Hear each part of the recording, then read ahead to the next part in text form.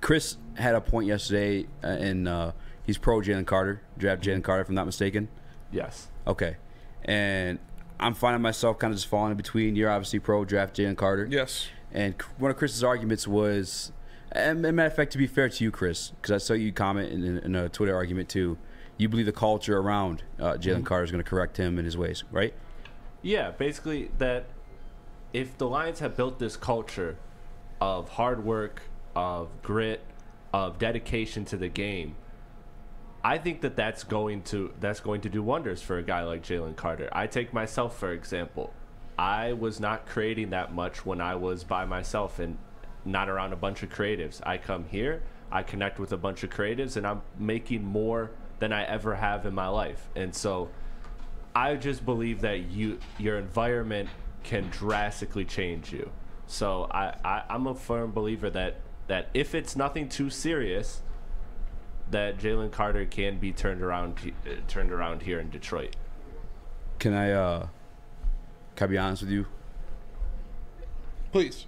And I don't. And maybe I actually I don't want to go this route because I don't, I don't want to put any like unnecessary uh, guilt or narrative towards Jalen Carter in his situation because it's, it's, not an ideal one. He, he lost a friend throughout the whole process, and I, I find a hard time uh, trying to I guess calculate what is him falling underneath the bar and, and him going through a tough time as well. But at the same time, I've seen this story here mm-hmm. in Detroit. And matter of fact, it's, it's crazy too. The Culver Cup edibles, you guys got to try these things. Come see your boy. I, I, promise you. That's the one thing actually you should try. Your brain's on thousand right now. No, this was last night. I couldn't sleep, but I was like, oh my god, that's brilliant. Yeah. So uh, yesterday, I forget whatever reason, I was watching a Jalen Carter clip, and I was talking about Ndamukong Suh. I was talking about how Ndamukong Suh like worked his ass off, even though he didn't show up for OTAs. And it reminded me of a former teammate of Ndamukong Suh's. Uh, Chris, if you if you show that the Spider-Man meme for this one, this this is the story that I see, or that I've seen before when it comes to Jalen Carter, and it's the one that uh, Chris didn't put in yet, but it's okay, because I I'm, I'm, gonna speak. I'm gonna paint the picture oh. with words. Yep. Sorry, I was looking for the original one. The pointing one. Yeah, oh, that's oh, okay, what I was okay. looking for. I got confused. All right, and, and have this one ready because it's a national championship pitcher. So we have a defensive tackle, mm-hmm. extremely talented, gifted athletically, heavy, tall, strong, former national champion mm-hmm. at the defensive tackle position. Both Jalen Carter and Nick Fairley won national championships. Uh, both following those national championships. Yep, and then and then the rest of the thing that was coming afterward. But don't worry, it's it's still part of his story, right? Both dealt with legal troubles with with their vehicles as well too. Mm-hmm. Uh, I don't know if I sent that one too, but Nick Fairley arrested multiple times. Yep. Some as a Detroit Lion too. Uh, I didn't send you this one because I just screenshot too, but but coming in, gaining weight. Matter of fact, exactly ten pounds. At one time, Nick Fairley was mocked to go number one and two of the 2011 uh, NFL draft. Ultimately, ended up falling to 13. But you, you you can't tell me you can't draw that same parallel to Jalen Carter right now.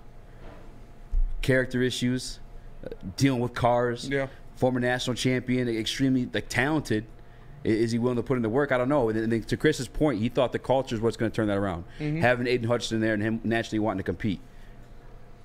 Do you know what's the defensive line rookie that Aidan Hutchinson was been compared to this past season in terms of like numbers? He even got a shout out from this guy. He's my one of my favorite players. Fellow light skin is Ndamukong Suh. Ndamukong Suh, monster defensive lineman. Aidan Hutchinson got compared to him. Yeah, his rookie numbers. He's the only only rookie to put up those uh, I forget the exact stat, but the only comparison, the only guy next to it was Ndamukong Suh. But nonetheless, that would have been Nick Fairley's competition, right? That would have been the guy he was bred to compete against at mm-hmm. the same exact position, even. They were supposed to be dogs together. That never turned Nick Fairley around.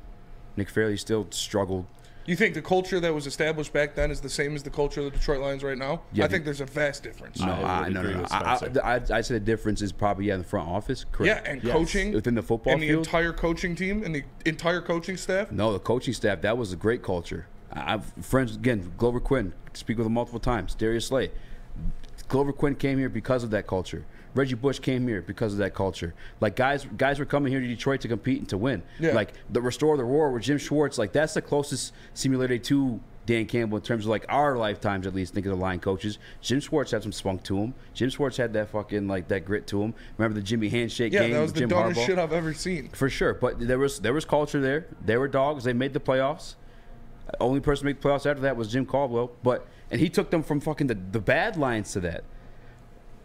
I don't. I I I just get nervous because I, I've literally seen the same exact fucking story. Yeah. There's just way too many similarities between these two right now to think that like I guess to give him the, the, the beneficiary or, or the what's it, something like doubt Benefit of the doubt. benefit of doubt. Benefit Thank you. That's what I'm looking for. And that's my that's my history lesson for Chris. Everything similar, everything championships, cars, overweight, not being in shape. I mean, spinning, and I'm not even asking you to like you don't have to like vault it in terms of like defending Jalen Carter, but just for Chris to, to see like the how, how similar. T- tell me this shit's not like eerily similar. It is similar. It is similar for sure. I think Jalen Carter's a better prospect than Nick Fairley was. And I think the Lions culture is stronger now than it was then, personally. With the staff of coaches that they have around them, not just Jim Schwartz. I think Dan Campbell built a better culture than Jim Schwartz. I think Dan Campbell has surrounded his players with coaching staff and guys like Aaron Glenn and different players like that that'll help people succeed. It is similar when you look at it apples to apples. But I just think that if there is one place that Jalen, you could expect Jalen Carter to turn it around or or do something like that, and and I don't even know turn it around. Like Nick Fairley got arrested for for drug possession, right? Uh, It was, got- well, it was weed. It was weed. so this is how eerily similar it is, right? Weed and DUI. When the police came, guess who tried eluding the police Yeah. and fleeing the scene? Nick Fairley. Guess who's literally their misdemeanor is fleeing a scene. Well, his misdemeanor, his misdemeanor was drag racing and reckless driving. There was something with um, Those were his two counts that he pled. There was something that he there too no with uh, yeah, yeah, because he pled no contest today, Yeah. yeah. officially. But there was the uh, obstruction, obstruction, obstruction of justice too. That's when you it, It was- he lied to- he with lied like to the legitimate police stuff. Yeah, yeah, that's what I'm saying. Yeah. So you interfere with like, the legitimacy of like an investigation, so Yeah. they can find like the actual truth and stuff like that. But like eerily similar. And I'm getting a little nervous too. Like, and it, hear me out. I'm still down with with drafting him. At this point though, I don't know if it has to be at six. He's not making it into 18. I I'm not saying 18, but I mean, you saw the way the mock draft fell yesterday when when you restart. We both restarted. I was like, fuck, mm-hmm. Carter has to fall. Carter has to fall. It's ugly when you get there at six. When you realize you did address the cornerback position, it's ugly when you get there at six and you're like, I feel like I could still get Carter later, a little later. How late? What? Nine? I mean, Vegas is gonna want to move up. Yeah, eight. Nine nine is the the Bears. I don't know if the Bears are in the position to take The on. Bears the, Bears aren't going to trade with the Lions. no, they're definitely not going to trade with the Lions. Although the, Lions did trade prob- the Vikings. The Bears would probably take Jalen Carter if he fell to him. I don't even know about that anymore either. Just because, like, what established veteran leadership do they have in their locker room That's true. to handle something like that? It barely Doesn't again. mean they don't take the swing. once upon a time was projected as the number one to number two overall pick, and he fell all the way to 13th. And I, I just feel like this is the same type of situation we're getting with Jalen Carter. But again, I'm cool with taking him. I just don't know at six anymore. I, I I don't know. JB, you got anything on this one? Um, I don't know about trading back because all you have is what the Raiders in Atlanta, unless Atlanta wants to try and jump up and maybe potentially grab a Will Levis, or I don't even know what quarterbacks will be left at that point in time. But still, I, don't know if you have that opportunity again for let him drop all the way to 18 because I, I don't think he's going to be there. The Bears are already looking like they could be potentially something in the next one or two years. So it's just I don't know if you jump and take that opportunity and just let him slip out of, at six.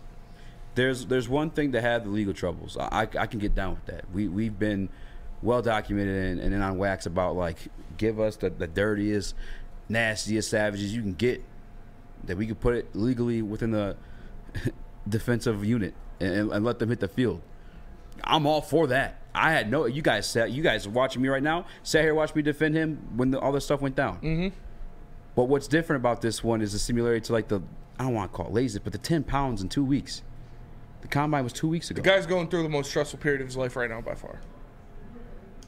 It's just like Dan Campbell, what they love. They love football guys. They love to compete. Like if if if you love football, that's like a little bit of your escape, right? Competing to go and perform well. Your your pro day. By the way, your pro day is like where you look the best. Yeah. That's where we find like all these forty times. Like, oh, he broke the forty time record, and you're like, mm-hmm. cat, it's, it's a pro day. It's, Yeah. it's their coaches helping each other out.